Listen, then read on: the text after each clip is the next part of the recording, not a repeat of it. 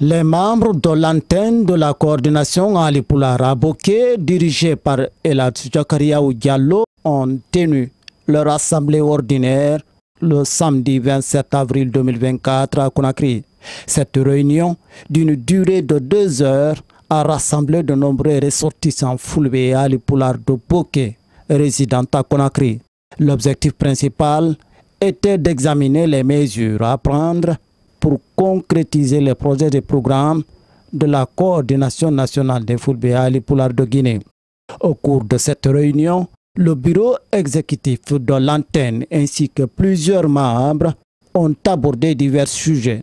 Au cours de cette réunion, le bureau exécutif de l'antenne ainsi que plusieurs membres ont abordé divers sujets.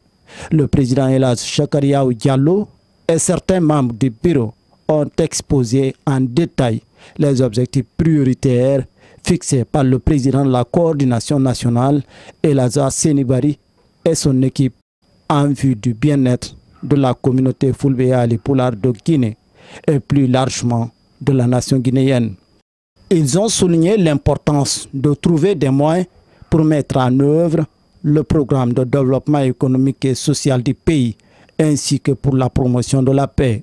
Par ailleurs, les participants ont été informés de la mise en place du bureau des ressortissants résidents à Conakry relevant de l'antenne de la coordination Alipular de Guinée à Boké. Le président de l'antenne de Boké a saisi l'occasion pour encourager tous les ressortissants de Boké, membres de cette antenne à Conakry, à se mobiliser massivement autour des projets et programmes de la coordination nationale axés sur la promotion de la paix, le développement économique, social et culturel de la Guinée ainsi que sur la solidarité, l'entente et l'entraide mutuelle au sein de la communauté. La prochaine réunion est prévue pour le 25 mai prochain.